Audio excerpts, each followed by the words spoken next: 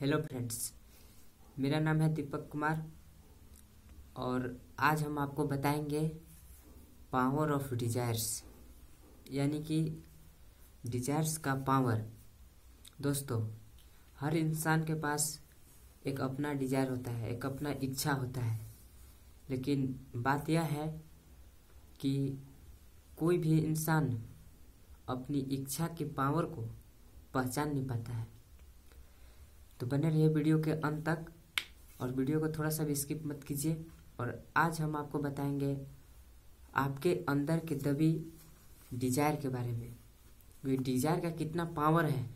Desire आपका आपसे क्या करवा सकता है, इसके बारे में आज हम आपको बताएँगे। तो दोस्तों, इस दुनिया में सबसे बड़ी पावर है डिज़ायर डिज़ायर ही एक ऐसा शब्द है जो पूरी दुनिया को भगा रहा है। आज देखा जाए तो जो भी बड़े बड़े लोग हैं, उनका बहुत बड़ा बड़ा डिज़ायर भी है। उनके पास इच्छा है और उन्हें अपने इच्छा के प्रति बहुत ही अपने इच्छा पर वो बहुत विश्वास करते हैं। विश्वास है, इसलिए वो आज आगे बढ़ रहे हैं। अगर सभी के दिलों से डिज़ायर ही निकाल दिया जाए तो शायद दुनिया रुक जाएगी। अगर जिस जिस इंसान के पास डिज़ायर ही ना हो, जिस इंसान के पास डिज़ायर ही नहीं हो, और हर इंसान के दिलों से डिज़ायर को बाहर निकाल दिया जाए तो शायद यह दुनिया रुक जाएगी। अगर जिसके दिल में डिज़ायर जग जाए, डिज़ायर पनपना जाए तो मनुष्य काम नहीं करेगा, बल्कि वह डिज़ायर उस मनुष्य से काम करवा देगा। डिज़ायर का ऐसा पावर है दोस्त, कि अगर डिज़ायर चाहे ना तो हमारे ज़िंदगी में इतनी बड़ी एनर्जी ला देगी, इतनी बड़ी एनर्जी ला देगी कि वह काम वह काम को वह एनर्जी पूरा कर देगी। करवा देगी, चाहे वह काम खराब ही क्यों ना हो। हमारे अंदर के जो डिज़ायर है, उसका इतना पावर है कि अगर हम कुछ खराब काम ही क्यों ना सोचे, अगर वह डिज़ायर उस काम के प्रति पनपना जाए कि नहीं, वो काम करना चाहिए, वो काम ज़रूरी है। अगर डिज़ायर मेरा चाह जाए कि नहीं, वो काम होना है तो वह काम क्यों ना खराब ही हो, अवश्य होगी। भले क्यों ना वह डिज़ायर भले क्यों ना वह काम आपका खराब हो। खराब काम क्यों नहीं हो, लेकिन अगर डिज़ायर आपका पनपना जाए तो वह काम पूरा ही होगा। कभी कभी फेलियर बात को अपने मन में नहीं रखना चाहिए, बल्कि हमारे ज़िंदगी में जो फेलियर थॉट आया है उसे इतिहास बनाकर निकाल देना चाहिए।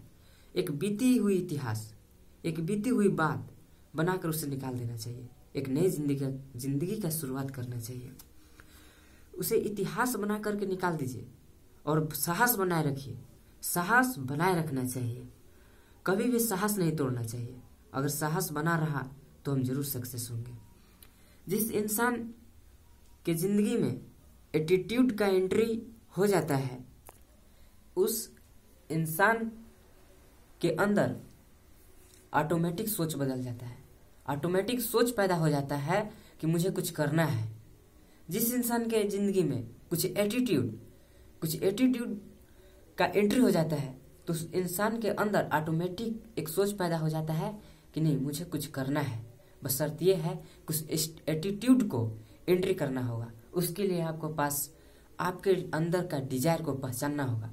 आपके अंदर के जो डिज़ायर है, उसके बारे में सोचना होगा, उस डिज़ायर को जगाना होगा। जिस इंसान के अंदर एटीट्यूड आ जाए एटीट्यूड अगर जिस इंसान के अंदर एटीट्यूड का एंट्री हो जाता है तो उसका सोच ऑटोमेटिक बदल जाता है। सोच जब ऑटोमेटिक बदलेगा तो उसके अंदर कुछ भावना होगा। कुछ भावना निकलेगा कुछ करने के लिए। उससे क्या होता है कि एक्शन बदल जाता है। एक्शन भी बदल जाएगा और सोच भी बदल जाएगा। ज़िंदगी बदलने के लिए डिज़ायर बदलना पड़ेगा। सोचिएगा दोस्त, ज़िंदगी बदलने के लिए डिज़ायर बदलना पड़ेगा और डिज़ायर को बदलते ही सोच बदल जाएगी। जब सोच बदलेगी तो आपका एक्शन बदल जाएगा। जब आपका एक्शन बदलेगा तो ऑटोमेटिक आपका ज़िंदगी बदल सकता है। ध्यान दीजिएगा इस बात को, ज़िंदगी बदलने के लिए डिज़ायर बदलना पड़ेगा। डिज़ायर बदलते ही सोच बदल जाएगी। सोच बदलते ही आपका एक्शन बदल जाएगा। और एक्शन बदलते ही आपके ज़िंदगी में परिवर्तन आना शुरुआत हो जाता है। आपके ज़िंदगी ऑटोमेटिक बदलने लगती है। हम जानते हैं, जब हम जानते हैं कि हमारा फ्यूचर डिज़ायर से बदलने वाला है तो हमें बहुत बड़ा से बड़ा डिज़ायर चुनना चाहिए। क्योंकि आज जो कुछ भी हो रहा है डिज़ायर के बल पर हो रहा है। जो भी काम हो रहा है, जो भी हम सोच रहे हैं, वो डिज़ायर के बल पर हो रहा है तो क्यों ना हम छोटा डिज़ायर क्यों बना करके चले? छोटा डिज़ायर हम आखिर क्यों बनाए? हमें बड़ा से बड़ा, बहुत बड़ा डिज़ायर बना करके चलना चाहिए। दुनिया का सबसे बड़ा डिज़ायर अगर हम ज़िंदगी जी रहे हैं तो ज़िंदगी जीने का वजह बहुत बड़ा होना चाहिए कि आखिरकार हम क्यों ज़िंदगी जी रहे हैं? क्या मतलब है हमें जीने से? अगर इस बात को हम इसका वजह अगर खोजें इसका वजह हम ढूंढे तो हमें इसका वजह ढूंढना चाहिए। कि आखिर हम ज़िंदगी क्यों जी रहे हैं? क्या कारण है हमें ज़िंदगी जीने का? किस लिए हम ज़िंदगी जी रहे हैं? अगर हम ज़िंदगी जी रहे हैं तो ज़िंदगी जीने का क्या वजह है? क्या वजह है? इसका वजह बहुत बड़ा होना चाहिए। अपने आप से वजह निकालना पड़ेगा। अपने आप से वजह निकाल करके अपने आप में वजह ढूंढिए कि क्या वजह है और बड़ा से बड़ा वजह ढूंढिए कि क्या क्या वजह है कि हम इस ज़िंदगी को जी रहे हैं? आखिरकार हम क्यों ज़िंदगी जी रहे हैं? क्या मतलब है ज़िंदगी जीने का? इसका बहुत बड़ा वज़न निकालिए दोस्त, क्योंकि जब तक आप अपना डिज़ायर का वजह नहीं निकालिएगा, जब तक आप अपने ज़िंदगी जीने का वजह को नहीं ढूंढिएगा तब तक आप अपना ज़िंदगी में परिवर्तन नहीं ला सकते। हैं और इसके में एक बहुत ध्यान देने वाली बात है कि लालच। इसी बीच आपके लाइफ में एक खतरनाक समझिए तो दुश्मन का एंट्री होता है, वह है लालच। लालच एक ऐसा शब्द है जिसका आज तक अंत ही नहीं हुआ है। लालच एक ऐसा शब्द है जिसका आज तक अंत ही नहीं हुआ है। और जो लोग भी इस लालच को अपनाए हैं, वो कभी भी खुश नहीं रहते। चाहे वो कितना भी रुपया क्यों नहीं कमा ले। जो लोग भी लालच के फेरा में पड़ गए हैं, वो कभी भी खुश नहीं हो, खुश रह ही नहीं पाते। चाहे वो कितना भी पैसा कमा ले। क्योंकि दोस्त, एक बात आप ध्यान दीजिएगा कि जो लालच करते हैं ना, जिनके मन में लालच होता है, वो आगे चलकर गड्ढा में नहीं गिरते हैं। वो बहुत बड़ा खाई में गिरते हैं और ऐसा खाई में गिरते हैं कि दोबारा वो बाहर निकल भी नहीं पाते हैं। इसलिए कभी भी दोस्त, लालच में मत पड़िए। लालच बहुत ही बुरी बला है। यह आपके लाइफ का समझिए तो दुश्मन है। इससे जितना हो सके उतना दूरी बना करके रखिए। यह कड़वा बिल्कुल सत्य है कि अगर जीना है तो सीखना है। जो नहीं सीख रहा है वह ज़िंदा लाश है। अगर ज़िंदगी जीना है तो उसके लिए सीखना है और जो नहीं सीख रहा है, वो समझिए तो ज़िंदा लाश है। हमें अपने बारे में नहीं सोचना चाहिए। हमें अपने आप के बारे में नहीं सोचना चाहिए। हमें ये सोचना चाहिए कि हम अगले अगले के लिए कुछ करें। अगले का ज़िंदगी बदले और इसके लिए हमें सबसे पहले अपने आप में स्ट्रोंग होना पड़ेगा। जब हम स्ट्रोंग होंगे, तभी दूसरों को स्ट्रोंग कर पाएँगे। इसलिए हमें सबसे पहले अपने आप को स्ट्रोंग बनाना पड़ेगा। अपने आप में हमें स्ट्रोंग मजबूती अपने आप को प्रदान करना पड़ेगा। अगर हम दूसरों को, अगर हम अपने बारे में सोचते हैं तो ये ज़्यादा बड़ी बात नहीं है। बल्कि बड़ी बात यह है कि हम हम तो हम जब दूसरों को स्ट्रोंग बनाएँगे, तभी जब हम स्ट्रोंग होंगे। हमें दूसरों को स्ट्रोंग बनाना है तो इसके लिए सबसे पहले हमें खुद स्ट्रोंग होना पड़ेगा। हमें कुछ करना है, हमें कुछ करना है, अगर कुछ करना है तो ज़्यादा से ज़्यादा बड़ा से बड़ा डिज़ाइन बनाना पड़ेगा। क्योंकि दोस्त, आपको पहले भी हम बताए थे कि बिना डिज़ाइन के कुछ नहीं होने वाला है। अगर लाइफ में कुछ करना है, कुछ अलग करना है, कुछ बड़ा करना है तो उसके लिए आप बहुत बड़ा डिज़ाइन बनाइए। हर कोई इंसान कुछ कर रहा है तो वह काम को, वह नहीं कर रहा है।